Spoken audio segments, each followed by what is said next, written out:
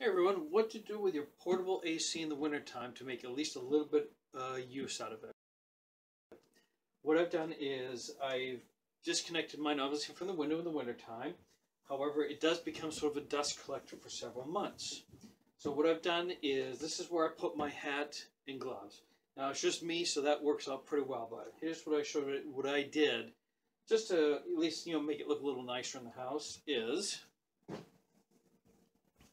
I have just a plain old dish towel. You can get these at a dollar store, whatever. It doesn't be anything fancy. Is this is the one underneath. I'm just putting this here, and that's going to keep the dust from falling down inside and collecting.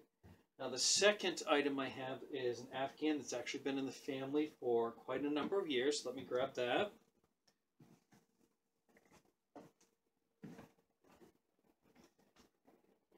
And I'm just going to lay this over the top.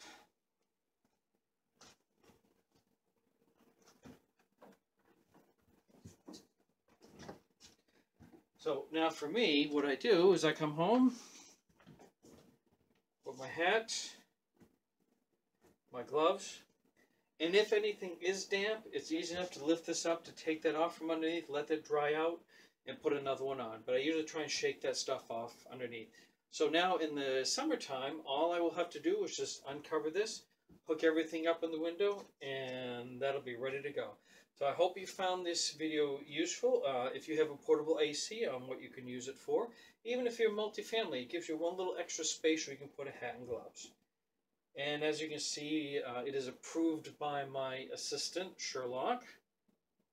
So as always, like, subscribe, share, and your comments are welcome and will always help me to, uh, to improve future videos. Right, Sherlock?